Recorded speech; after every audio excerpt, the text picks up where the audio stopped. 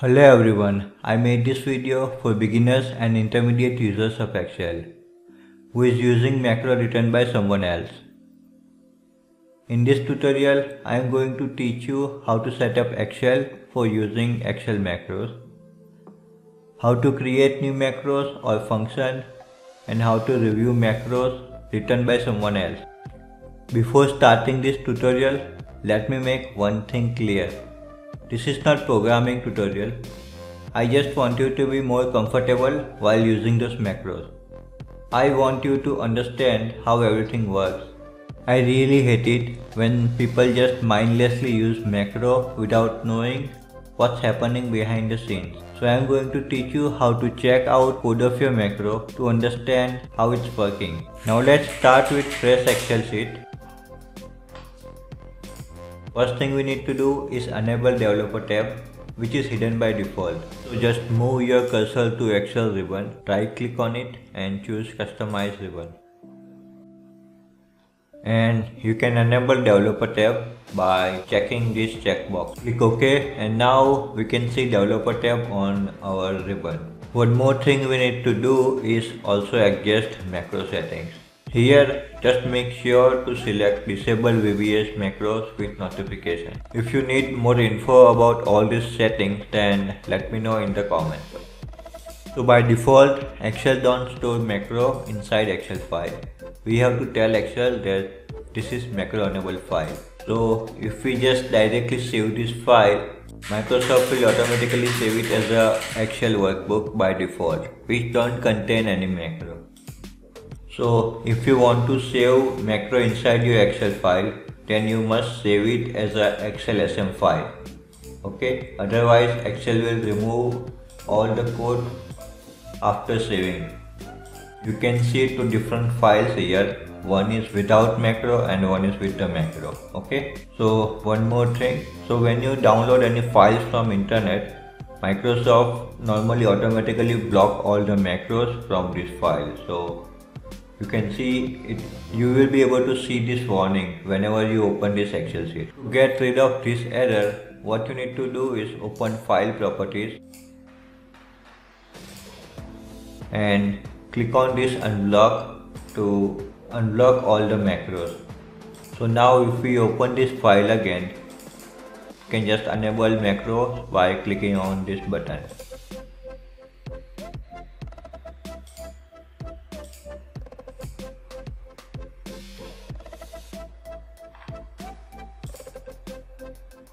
Now let me just show you what's all this button on developers tab. So here in this group we are only going to focus on Visual Basic and macro button okay. So there is also option to record macro inside Excel but I normally don't prefer it. If you really want to learn how to use or modify code just focus on manually written macro. This is default view of our Visual Basic editor okay so panel on the left here is called project explorer which display all the file related to this VBA project. If this is not enabled by default, what you can do is go to the view menu and just enable it from there. Now let me just click on the file inside this explorer. So you can see there are two files already there, sheet1 and this workbook.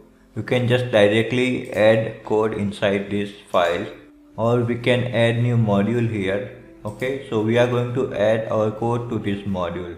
This will help us keep our code separated from our excel file. We can also change the name of this module using properties window okay? So just click on the module and from properties windows we are going to change this module name to my macro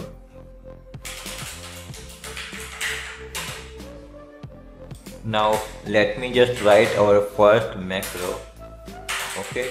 So this will be very basic one just a hello message.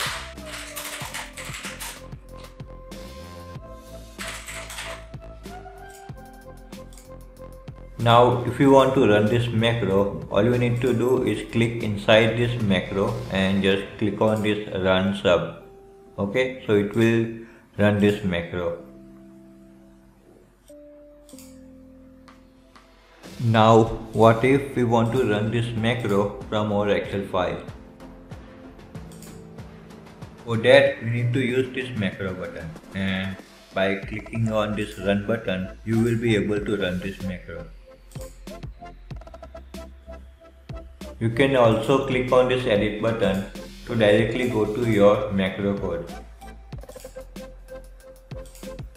You can go to the options and assign the keyboard shortcuts from here. So I'm going to assign Ctrl Shift G to run our new macro here. So I'm pressing Shift and G from my keyboard. Now if I press Ctrl Shift G on my keyboard, Excel will automatically trigger this macro. Now let's just use button to trigger this macro. So for that we are going to insert new shape here. And just name it click me. And let's just do the formatting as you like okay? So now to assign macro just right click on this button and choose assign macro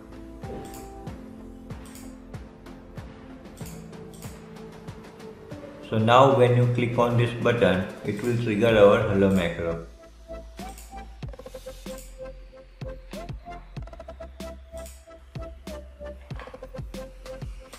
You can also create new button using this VBA control. Okay, so there are two buttons here, but just use this bottom one. Okay, there is not much difference between these two in real life.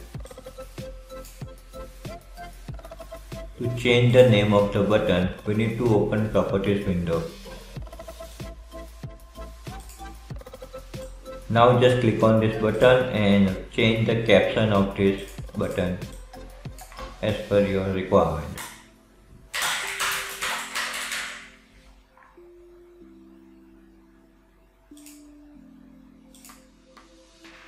You can also change the fonts and font size from here Now to assign our macro to this button, just double click on this button. So this will automatically create this uh, private macro. If you want to run our hello macro with this, we need to call our macro using this syntax. Name of our module and then name of our macro separated by period. Currently our Excel is in design mode. We just need to disable design mode by clicking on this button here. Okay. So now if we click on this test button, it will trigger our hello macro. Additionally, we can also use irregular shape as a button to trigger our macro.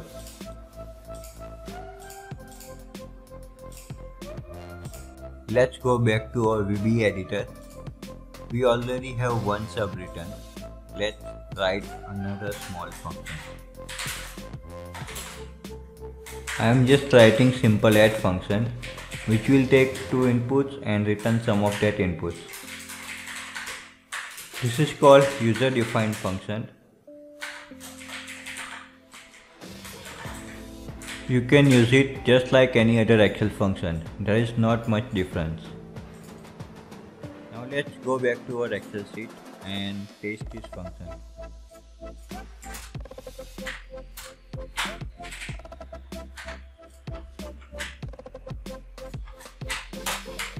So you can see it's very easy to use. It has same functionality like any other excel function. Let me try a few more things with this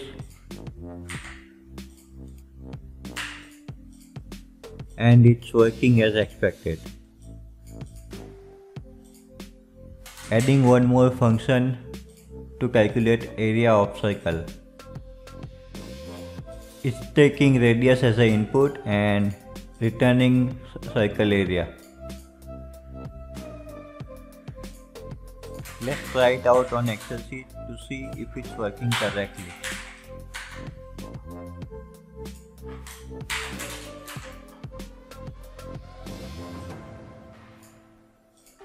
This is just one simple example, but we can use this for complex math calculation or replacement for complex Excel formulas or build formulas that are not available in Excel. Now that we know how to use new macro and function, next step is to learn how to analyze existing macro to understand how it's working. To learn debugging, I am adding new macro to calculate area of circle. Here we are getting radius input from Excel A1 cell and printing results in B1 cell.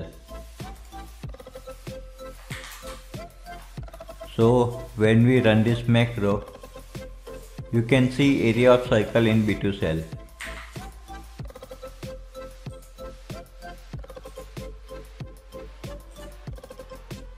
Also assign this macro to this smiley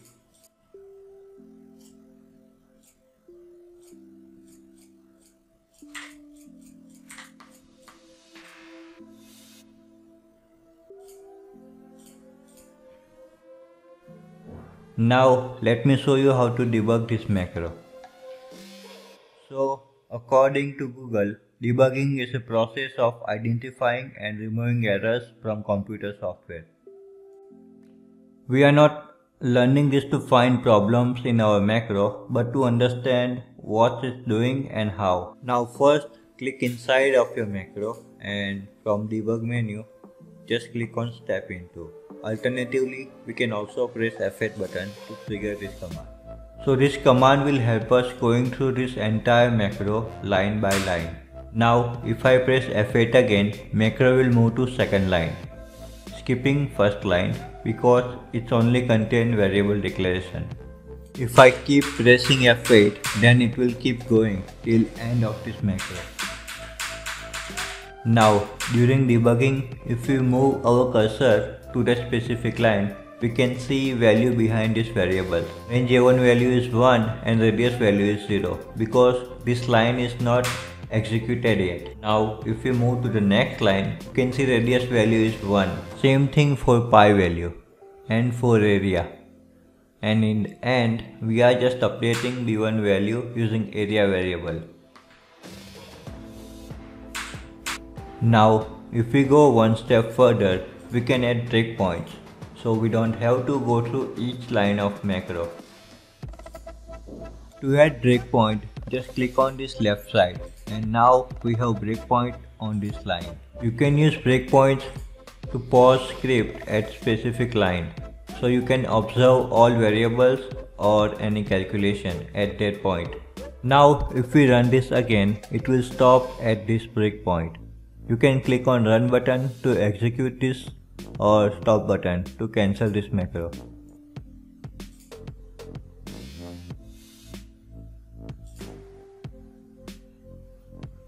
Breakpoints are great to observe specific calculation in this macro. For smaller macro, it doesn't matter much, but for the larger macro, you have to go through each line this can be tedious when you have hundreds or thousands of lines of code. There are few more ways to observe all variables. Go to view and select local window. Now, if we run this macro, you will be able to see all the loaded variables and its current value in this window. Pressing F8 to go to the next line and you can see values are getting updated. This will save you a lot of time when you need to figure out or fix some calculation. Similar to local window, there is also watch window. Again, go to view menu and select watch window. Only difference here is that you have to select which variable you want to observe. Let me show you. Just right click on any variable you want to observe and select add to watch.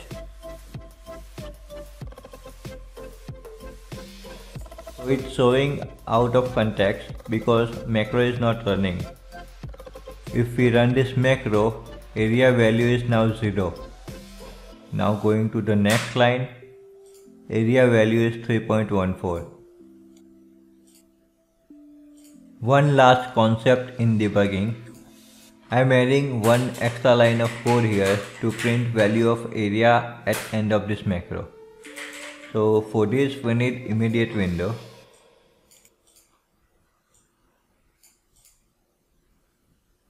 Go to view menu and select immediate window.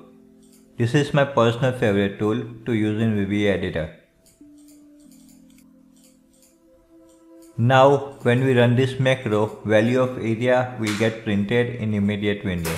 So this way we can print any variable we like using our macro execution without disturbing macro code. Now to explain this further, I am adding one more macro to print numbers. This macro will loop through number 1 to 10 and print results in multiplier of 10.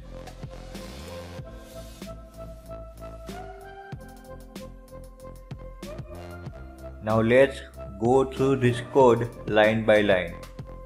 You can see these values in immediate windows.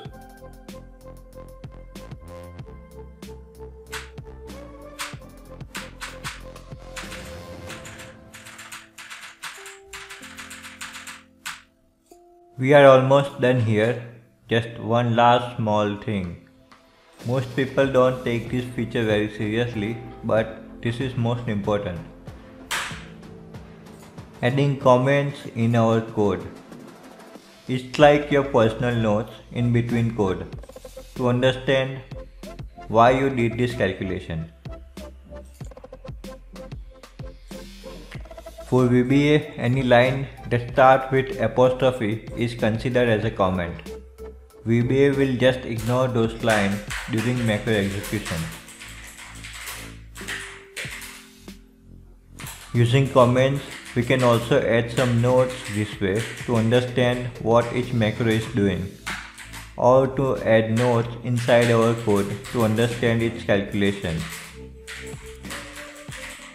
This way, even if you see this code after few years, you will remember what code is doing. It's like documentation for our code.